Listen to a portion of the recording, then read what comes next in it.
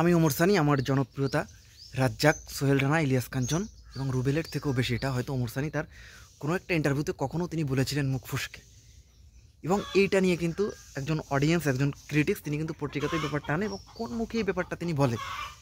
So এটার ব্যাখ্যা এখন আমরা বলব, আমরা পেপার কাটিং দেখাবো, আমরা আমাদের পার্সোনাল পয়েন্ট অফ ভিউ আমরা ফিলোসফি আমাদের আমাদের ফিলোসফি এবং অডিয়েন্সদের ক্রিটিক্সদের যে কথা তো এটার উপর বেস করেই বেসিক্যালি ভিডিওটি এখন ধারণ করতে যাচ্ছে। তো ভিডিওটি স্টার্ট করার আগে আপনাদের কাছে ছোট্ট একটা অনুরোধ, আপনারা যদি ফিল্মস পাই চ্যানেলটিতে নতুন হয়ে থাকেন, তাহলে অবশ্যই সাবস্ক্রাইব করবেন বেলাইকনে ক্লিক করবেন লাইক করবেন শেয়ার করবেন কমেন্টস করে জানিয়ে দেবেন আপনাদের মূল্যবান মতামতটি। আমি অপেক্ষা রইলাম আপনাদের মূল্যবান কমেন্টের এবং আপনারা যদি অমর সানির ফ্যান হয়ে থাকেন, তাহলে ভিডিওটা প্লিজ দেখবেন এবং তার ফ্যান না হয়ে থাকলেও কিন্তু ভিডিওটা দেখবেন।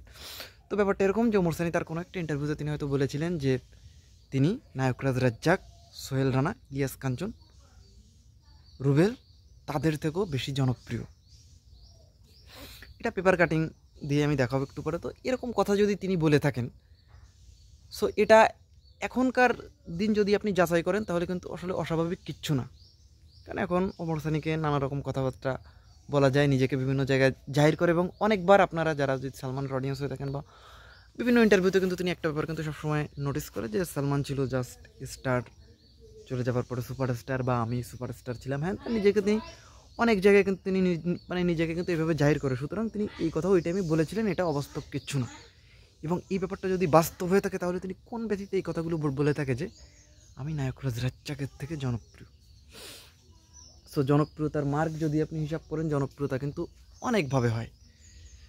সো আপনি যদি তার ফিল্মগুলো যদি আপনি দেখেন, রাজ্জাকের ফিল্ম তার ক্যারিয়ার গ্রাফ যদি আপনি অ্যানালাইসিস করেন, তার ক্যারিয়ারে কিন্তু কার্ড ক্লাসিক ফিল্ম এবং এক একটা ফিল্ম আপনি যদি কমার্শিয়াল ফিল্ম দেখেন বা আপনি যদি অপট্রাক ফিল্ম দেখেন আপনি যদি সব ধরনের ফিল্ম যদি দেখেন আপনি মানে তিনি কিন্তু সব জায়গায় কিন্তু তিনি নজির রেখেছেন। এবং এই যে যে একটা ব্যাপার যে সব ধরনের ফিল্মে দুর্দান্ত অ্যাক্টিং ভালো অ্যাক্টিংয়ের পাশাপাশি মানে তিনি একটা টাইমে ইন্ডাস্ট্রিকে ডোমিনেট করেছেন নায়ক রাজ্জাক এবার ওমর সানির যদি আপনি যদি সে সেদিকে আসেন ডোমিনেট দূরে থাক ওমর সানির উইদাউট মাল্টিকাস্ট তার সোলো হিট হিসেবে মানে ফিল্ম তো কম এবং নায়করাজ রাজ্জাকের যতগুলো super duper hit film Omar সানির অতগুলো হিট ফিল্ম এবং এবং তিনি লিজেন্ড এবং বাংলাদেশে যদি আপনি একজন হিরো যদি বেছে নেন, যে যিনি ইন্ডাস্ট্রি একজনই, এদেশের ইন্ডাস্ট্রির ভিত যিনি যিনি এদেশে সব থেকে বেশি জনপ্রিয়, যিনি সব থেকে বেশি ক্লাসিক ফিল্মের মালিক, যিনি সব থেকে বেশি হিট ফিল্ম দিয়েছে মানে সর্বিক দিক দিয়ে সবচেয়ে জনপ্রিয় যদি আপনি এদেশে যদি হিসাব করেন, একজনকে যদি বেছে নিতে বলেন he is none other than one and only Nayak Raj Razzak. তো সেই মানুষটার সঙ্গে যখন ওমর সানি নিজেকে জড়িয়ে বলেছেন যে আমি তার থেকে বেশি জনপ্রিয়, তো এটা নিয়ে আসলে কিছু বলার থাকে না। অন্যদিকে তিনি যখন সোহেল রানার কথা বলেন, তখন আর কি বলব? সোহেল রানার অ্যাক্টিং ক্যাপাবিলিটি আপনি দেখেছেন? ড্যাশিং হিরো মানে তিনি স্ক্রিনে আসলে একটা নায়ক নায়ক ভাব।